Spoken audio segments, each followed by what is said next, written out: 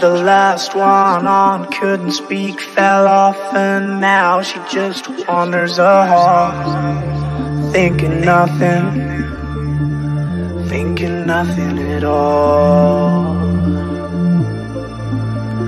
Once there was a man who had a little too much time on his hand and never stopped to think that he was getting older.